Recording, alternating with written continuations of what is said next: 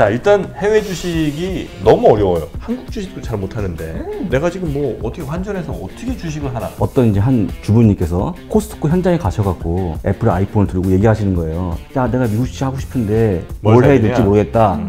라고 하면서 스타벅스에서 만나서 얘기해보자고 말씀하셨는데요. 다 미국 기업이거든요. 네. 이미 우리 삶에 다 녹아 네, 있다는 그렇습니다. 거죠. 다만 막연한 미국이니까 영어 때문에 어려워하시는 거죠. 그런 것만 없으면 음. 충분히 할 수 있는 건데 왜 안 했을까? 오늘 주식 당장 살까요? 해외 주식? 그러지는 말고. 도탄에 빠진 이지선 제자를 구하기 위한 특급 프로젝트. 지선아, 너의 주식에 날개를 달아라. 날개요? 아, 이지선 제자가 너무 시야를 좀 좁게 갔던 건 아닌가. 오로지 우리나라에 있는 주식 여기에만 지금 온리 초점을 맞추다 보니까 한국 시장 전체가 좀 어려워질 때 이지선 제자가 나도 이유를 모른 채 많이 어려워졌던 거예요. 글로벌한 시각으로 날개를 달고 미국도 가보고 뭐 유럽도 갈 수 있고 일본, 중국도 갈 수 있어야 되는 거 아닌가. 자 그러면 리지 선 제자는 항상 이런 생각을 하겠죠. 한국 주식도 잘 못하는데 내가 지금 뭐 어떻게 환전해서 어떻게 주식을 하나 이런 생각이 들 수 있단 말입니다. 네. 그 어려움과 의문점들을 오늘 완벽하게 해결해 줄 미국에서 날아오신 장우석 본부장님을 모시겠습니다. 한국 오신 지 얼마나 되셨죠?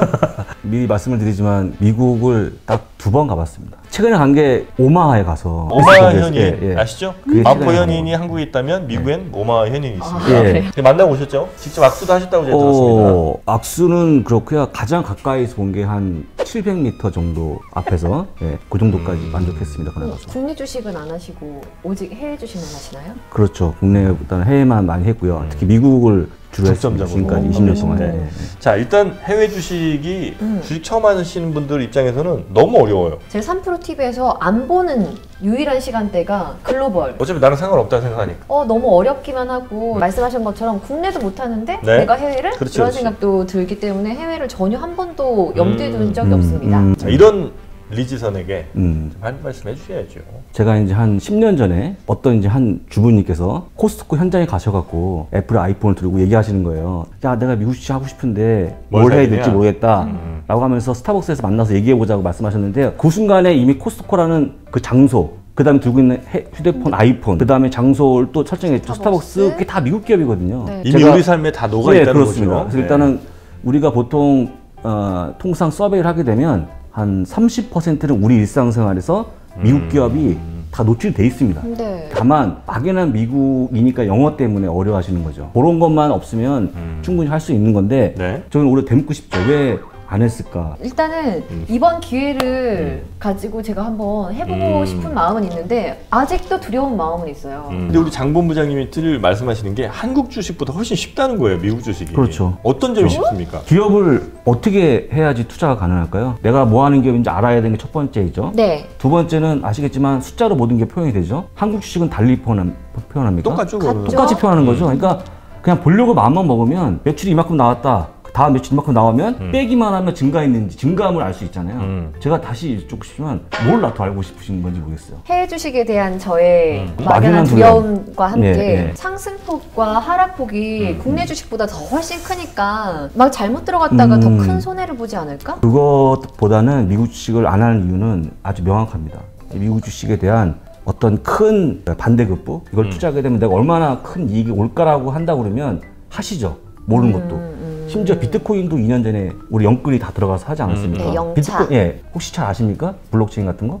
저는 꽤 이해가 있죠. 이럴 때 모른다고 하셔야 제가 잘 모르죠. 근데 무조건 들어가시는 거죠. 그 다음에 한 4년 전, 5년 전에 예, 후광통 한번 바람이 또 불었습니다. 아, 중국. 예, 중국어는 또 할 줄 아시나요? 우리 영어보다 못하실걸요? 근데 그때 한번 기억해 보시죠. 나는 중국어를 못해갖고 중국 주식 못한다고 했던 분이 제가 알기로는 거의 없었습니다. 음. 다 들어가시는 아 그런 또 데요. 있다 예, 또 예. 또 있어요 또 예. 환율 환율? 그러니까 이 주식에 대해서 음. 내가 사가지고 이익을 10% 봐도 달러 때문에 어디서 또 들은 게 있구나. 또. 아, 예, 예, 그런 거 환에 대한 또 손실도 우려가 네. 되죠. 음. 그리고 또 환을 얘기하시면 언제는 미국 달러가 강할 때가 있고 언제는 또 한국 달러, 한국 원화가 강할 때가 있고 다 네. 다르잖아요. 네. 오히려 그 강함을 해지하기 위해서 해외 글로벌 투자가 더 필요한 것이 되겠죠. 어, 4, 5년 전에 혹시 박스피라는 말씀 들어보셨습니까? 네. 예. 굉장히 어려웠던 구간이 있었어요. 한국의 코스피가. 네네. 그때 미국은 똑같이 날아갔거든요. 음. 그러면 아까 얘기했지만 환에 대한 부분도 해지를 하고 시장에 대한 부분도 해지한다 그러면 오히려 한국이 좀 안 될 때는 그때는 미국 하는 게 하나의 방법이 되지 않을까요? 또 궁금한 거또 네, 궁금한 네, 거. 네, 네. 주식이 이렇게 올라가는 게 미국은 진짜 우리나라 10년 동안 올라갈 거보다 훨씬 더 많이 올라간다고 제가 보기, 보긴 했어요. 그러면 이미 너무 고점이 아닌가라는 두려움? 차트는 가깝고 실적은 멀죠.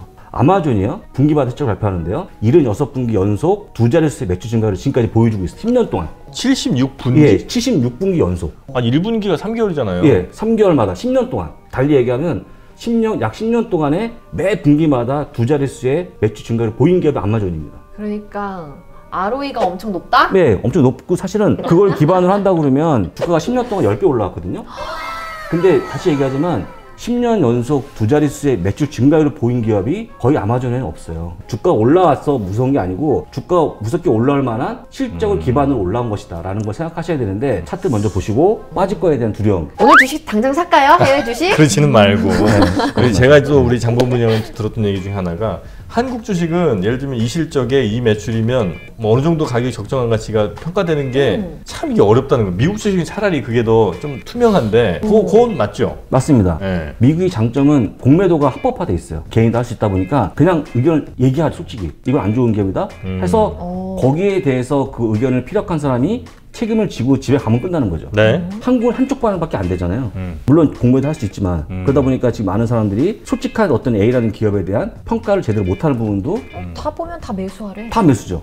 미국은 오히려 거기서 자유롭죠. 이 미국 주식 혹은 뭐 해외 주식의 장점들이 굉장히 좀 많은데 해외 주식을 시작하기 전에 주린이들이 가져야 될 뭐 마음가짐이라든지 아니면 뭐 준비물 같은 거 있으면 그런 거 정도 한번 좀 미리 한번 체크하고 또 이어가도록 준비물 하겠습니다. 예 있죠. 가장 먼저 해야 될 일은 최소한 기업에 대한 파악할 수 있는 재무제표를 볼 수 있는 방법들. 그냥 한 5분이면 끝납니다. 예, 끝나는데 아예 안 보시는 거죠. 네네. 그게 지금 한국의 가장 큰 문제라고 좀 보고 있고요. 네. 해서 배운 우리 젊은 친구분들이 음. 이제는 그 더 업앤다운 심한 종목 그래서 가다 보니까 음. 주식 투자해서 크게 이렇게 장기적으로 예, 돈을 못 버는 게 아닌가. 음, 그래서 걱정이 좀 되죠. HTS 까는 거 그거보다는 그러니까 우리가 알고 있는 기업을 분석할 수 있는 네. 최소한의. 재무제표 볼 수 있는 방법을 한번 먼저 터득해 보 책을 한번 사보자. 음. 예, 그걸 먼저 말씀드리고 싶습니다. 네. 그 본인이 한번 그러면 어떤 기업에 대해서 내가 얼마나 분석할 수 있나 한번 실제로 해보고 아, 내 수준이 어느 정도인가 요거 한번 좀 확인해 보면 좋겠군요. 그렇죠. 네. 보통 이상형을 따지지 않습니까? 뭐 음. 어떤 키는 어떻게 되고 얼굴 이거 고민하는 거 한 100분의 1만 투자하시면 아주 기업에 대해서 박사가 될 수 있죠. 이성 친구 사귈 때 뭐 공들인 시간만큼만 해도 그러면은 우리나라 최고 주식 전문가가 워렌 버핏이지 한국에. 자 그럼 그 그것만 준비하면 됩니까? 아니면 더 있습니까? 그거 준비한 다음에 네. 그 다음에 늘 얘기했지만 그러면 이제 어떤 기업에 대해서 궁금할 거 아닙니까? 음. 제가 보기에 유튜브가 워낙 대세다 보니까 좀 구글이 굉장히 궁금하실 것 같아요. 네. 네. 구글에 대해서 영문으로 되어 있는 제보제표를 딱 열겠죠. 음. 그러면 매출이 얼마큼 나고 증가하고 있는지 그 다음에 쭉 빼갖고 단기 순위까지 이익이 얼마나 증가하는지가 눈에 보이겠죠. 음. 그럼 더하기 빼기만 하면 끝나는 겁니다. 그러면 이게 딱 아실 거예요. 아 장우세가 왜 벌어가 있는지 알겠다. 지금까지 꾸준히 매출이 증가하고 있고 음. 이익이 증가했구나. 그렇게 하고 차트를 보셔야 되는데 차트를 먼저 보고 그 다음에 실적은 뭐 아예 관심이 없으니까 음. 사람들이 되게 두려워하시는 거고요. 그다음 아까 말씀드린 그렇게 구글 내용 봤다 그러면 음. 제가 보기에는 제가 하라고 뭐 팔라고 하지 않아도 계속 가져갈 겁니다. 보시는 분은. 음. 저는 네. 궁금한 게 국내 주식도 이렇게 차트나 아니면 재무제표를 보다 보면 음.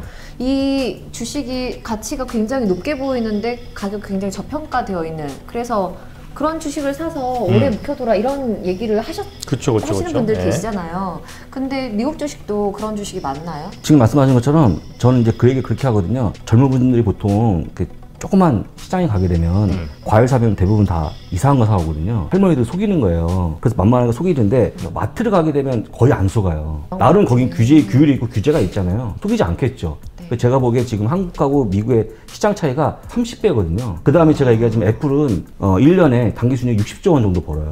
사이즈가 다르죠. 그러면 사이즈 달라지면 어떻게 되냐면 뭔가 좀 누가 장난을 친다든지 주가에 훼손이 갈 수 있을 만한 음. 내용이 있을까요? 하고 없겠죠, 거의. 아, 워낙 감시하는. 워낙, 예. 워낙 다 감시자, 시장에 감시자가 많고, 음. 아까 말씀드린 것처럼 대부분의 종목을 보는 게 거의 비슷하거든요. 전체 지금 미국 시장의 규모가 음. 7경원이에요. 7경원의 시간에 시장에서 저는 개인적으로 장난을 안 친다고 좀 보고 있거든요. 네. 누구도 침범할 수 없는 그런 어떤 큰 기업들 음. 모여 있는 시장에 가는 게, 그래서 큰 물에 가서 놀라는 어떤 그런 또, 국내 시장 다 속담이 있지 않습니까? 해외 주식으로 가요. 아니, 굳이 그렇게 할 필요 없죠. 단적으로 그렇게 하지 말고. 네, 그렇게 하면 안 돈이 되죠. 얼마 안 돼.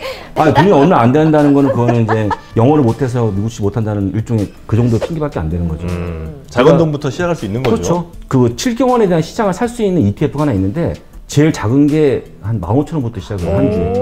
오. 아, 그러니까 미국 주식 네. 지수를 그냥 예, 투자하는 다 사는 거군요. 거죠. 예. 그러면 13달러 투자하는 게 뭐 그게 큰 돈입니까? 한 주부터 투자할 수 있는데 심지어 배당도 주는데요. 오. 네. 네. 미국이라고 그냥 두려움부터 갖지 말고 일단은 숫자만 잘 차근차근 따져보면 어, 그렇습니다. 예. 우리나라 투자하는 거는 별반 다르지도 않다. 쉽게 생각하시면 끝나는 건데 지레 겁을 먹는 게 약간 좀 문제라고 보고 저는 있습니다. 좋습니다. 그러면 우리 리지선 씨가 네. 앞으로 미국 주식을 하는 데 있어서 구체적인 어떤 또 방법들이 있을 거 아닙니까? 물론 공부도 해야 되지만 네. 아, 투자하는 방법들에 대해서 다음 시간에 제가 또 준비해 놓은 게 있어요. 어 진짜요? 아, 있어. 나 오랜만에 두근거리네요. 네, 걱정하지 말고 네. 다음 시간에 아주 적은 금액으로부터 시작할 수 있는 미국 주식 투자 방법 그거 제가 또 준비하고 와. 있거든요. 자 그러면 리지선 제자는 네. 또 다시 저한테 낚여서 미국 주식 한번 공부해 보도록 하고요. 아, 오늘은 이제 마인드셋 하는 시간입니다. 그래서 장우석 본부장님으로부터 아 미국 주식에 대한 생각 자체를 이제 바꾸는 시간이었던 거죠. 네. 자 그럼 다음 시간에는 리지선 제자와 함께 구체적인 실행 방법부터 한번 들어가 보도록 하겠습니다. 네. 자 오늘 어려운데 시간 내주신 미국 주식에 미치다. 미국 주식 미시인 분이에요 실제로. 아, 진짜요? 미주미 장우석 본부장님 대단히 고맙습니다. 네, 감사합니다. 고맙습니다.